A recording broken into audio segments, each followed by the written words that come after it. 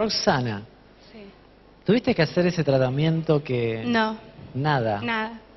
¿Era tu deseo poder Sí, tener era el bebé? deseo de los dos de que quería otro chico y, y me dijeron que yo tenía que volver a ese tratamiento y yo dije no, Pero no era posible que vos quedes embarazada. no. No era No. posible. Y en ese momento, en esa reunión, vos sentiste que Sí. algo sucedió. Que algo sucedió, sí. Y desde ahí, Y de ahí me hice un test y me dio positivo y acá está. y acá tenemos el fruto Sí. del milagro. ¿Qué le parece si le damos un fuerte aplauso al Señor?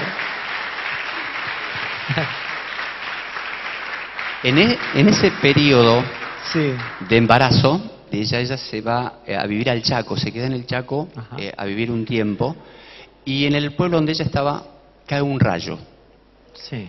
eh, que eh, las consecuencias de este rayo fue que a los vecinos, todos los vecinos de, de alrededor de la casa de ella, se le quemaron todos los electrodomésticos, Claro. televisores, inclusive hubo eh, desastres eh, habitacionales, pero todo lo que pasó, la casa de ella no fue tocada para nada. En ese momento el rayo cae. Sí, en- al lado de la casa de mi vecina, porque son casitas de barrio. Sí. O sea, a mi vecina le quemó todo, todo, Claro. todo. Y a los otros vecinos le quemó tele, heladera, todo. Y en mi casa nada. No pasó ni el rayo. Nada, nada. Y los vecinos me decían, ¿cómo que a vos no te quemó nada? Y a nosotros todo. Y me da lástima porque la señora lloraba porque Claro, se le quemó sí. todo. Y a mí nada, tenía todo prendido. Yo había dejado todo prendido, o sea, todo enchufado. Y estaba enchufado y todo. Sí, todo. O sea Y- que sí o sí fue la mano de Dios protegiendo Sí. todo. Sí, fue Dios que lo protegió de todo. Aún en tu embarazo también Dios protegió para que todo tu entorno, para que todo esté Y bien. muchas bendiciones.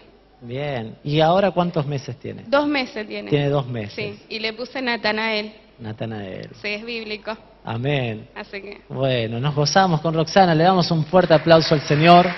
Muchas gracias, Roxana. Qué tremendo. Sabemos que en un embarazo también es importante que no tengamos disgustos y aún que no tengamos problemas. Y hasta en esos detalles Dios protegió la vida de Roxana y su hermoso bebé que pudimos ver.